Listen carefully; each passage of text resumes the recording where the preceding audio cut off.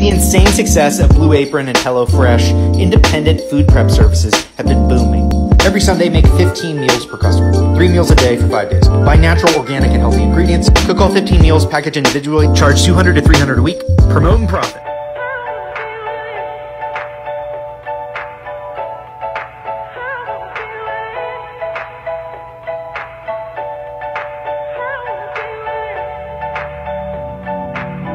Profitable side hustle that I've been seeing more of is private labeling pet treats. Find a private labeler, make sure they have low minimums, create a Shopify and Etsy store, promote entirely with Instagram influencers. They fill the order questions about side hustles for people under 18. This is one with no age restriction and you can make a thousand bucks a month. Reach out to local businesses and get commitments of three to six months to manage their TikToks. Set up a website on Shopify, ask for referrals and use discounts for referrals. Reach out to 100 businesses, manage and grow their account. Follow for more side hustles. Fun and profitable side hustle is artificial flower bouquets. Fake flowers are low maintenance, allergen free, pet friendly, and they last forever. Set up a store and start blogging. Share your posts on large Facebook and Instagram pages. Charge 10 to $50. Buy the flowers in bulk. Have fun and profit. Glamorous but profitable side hustle is stump removal. Start your LLC on LegalZoom. Create a website with Bluehost.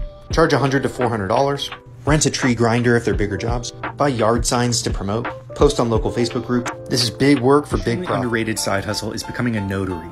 You can take online courses for under $100 to become one. You can make a flat fee of $75 all the way to $200 per signing. You can work seven days a week or work one day a week. Signing orders are sent directly via text message. Make two to six thousand. Side hustle on the weekends is flipping patio furniture. Find listings on Facebook Marketplace and Craigslist. If you don't have a truck, rent one. Offer cash to pay less for the furniture. Clean the furniture as best as you can.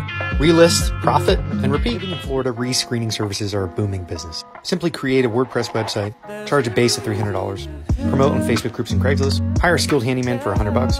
For larger jobs, add 25% on top of what the handyman charges. Get referrals, repeat, and profit. Downloadable blank journals on Kindle is surprisingly a pretty booming side hustle. Create what I would consider a template type journal for diets, recipes, day planners, pregnancies. Sell each book for five bucks a piece. Send free copies to influencers. Repeat and profit.